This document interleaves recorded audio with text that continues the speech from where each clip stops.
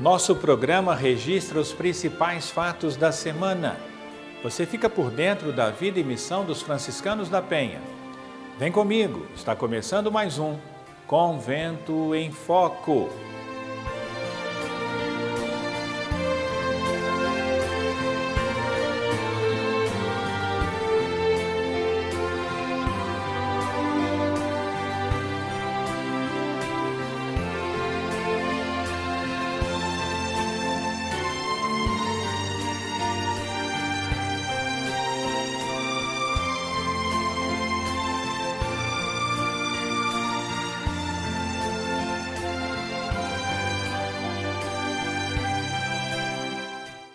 A memória dos mártires da Coreia, André, Paulo e companheiros, teve destaque nas celebrações da última segunda no convento.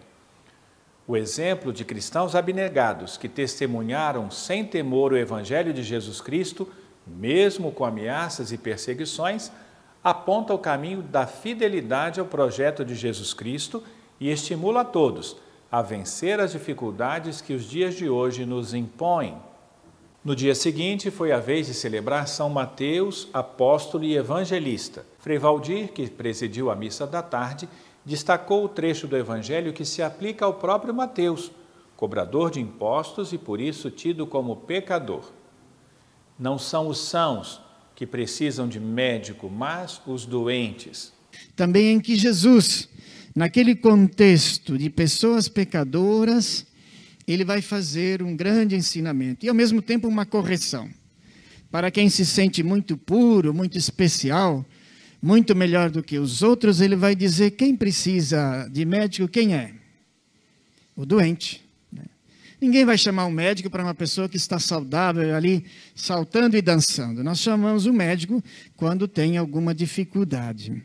E Jesus vai dizer: aprender isto. Neste dia, rezamos em comunhão com a Diocese de São Mateus, no norte do Espírito Santo, que recordava o seu padroeiro. O exemplo de São Pio de Pietreutina foi recordado na quinta-feira. Este filho de São Francisco, que morreu em 1968, nos apontou o caminho da piedade e da devoção. E sua festa nos convida à santidade.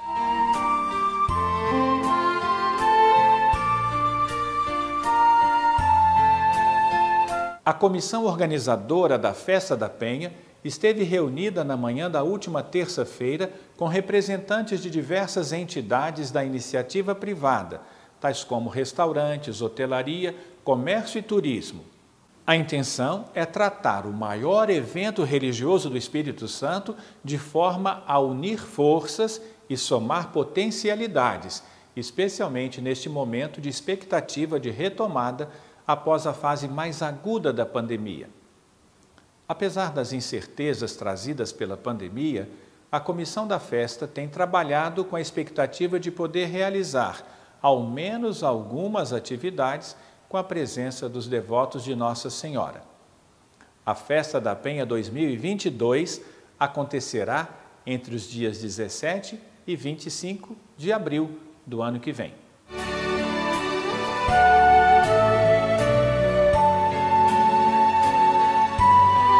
Acompanhados da superintendente do IFAM Espírito Santo, Elisa Taveira, representantes do IPAI, Instituto de Pesquisas Arqueológicas e Etnográficas, vieram à Penha e apresentaram proposta de pesquisa relativa ao convento. O Instituto identificou cinco áreas que permitiriam abordagem arqueológica importante. Duas delas mereceram destaque: a Ladeira da Penitência e Gruta Frei Pedro Palácios e a área que popularmente é chamada de senzala. Os estudos e tratativas terão continuidade e até o mês de dezembro deverão ser definidos os contornos do projeto e sua execução.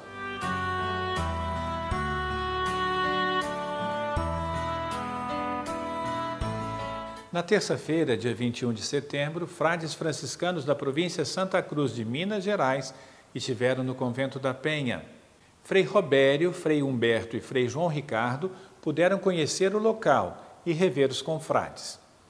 Atualmente trabalhando nas paróquias Nossa Senhora do Carmo e São Francisco das Chagas, na cidade de Aimorés, em Minas Gerais, eles aproveitaram o momento de passeio da fraternidade para visitar o confrade arcebispo Dom Dario, em Vitória, e também Frei, Frei Alessandro, que fez retiro de profissão solene juntamente com Frei João Ricardo no ano de 2008. Após um café com a fraternidade do Convento da Penha, eles aproveitaram a oportunidade para registrar belas fotografias da paisagem deslumbrante desta montanha sagrada.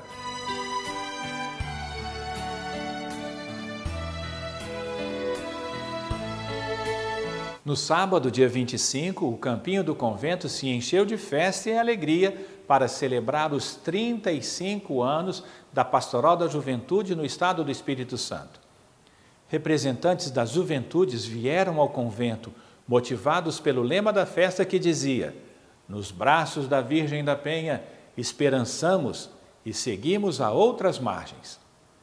A festiva Eucaristia foi presidida pelo arcebispo de Vitória, Dom Dario, que agradeceu a missão dos jovens no autêntico anúncio e na clareza de opções que nos aproximam do reinado de Jesus. 35 anos na PJ Capixaba, celebrando a história e levando o amor. Espírito Santo e a caminhada do jovem que busca e imita o Senhor. A missão de vocês, queridos jovens, como exemplos, seja um exemplo para os demais jovens. E esse exemplo nasce da vivência de vocês no diálogo aos pés do Senhor Jesus de Nazaré. Que a sua palavra, querido jovem, na escuta atenta dos clamores, das dores, dos sonhos, da esperança de tantos jovens, não seja de desilusão, mas seja de esperança.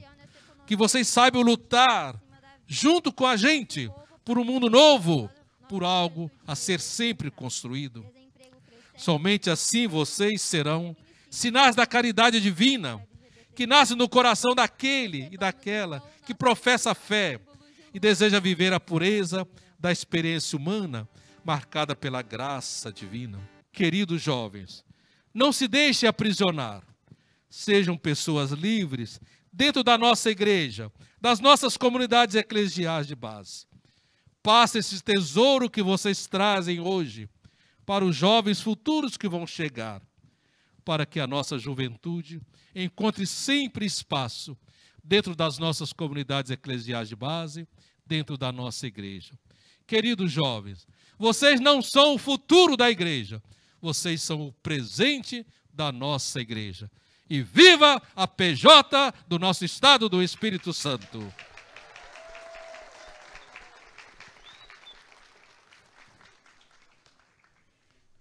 Eu termino com a frase de Dom Helder. Dom Helder, num dos seus escritos, dizia assim: A gente é jovem enquanto tem uma razão para viver.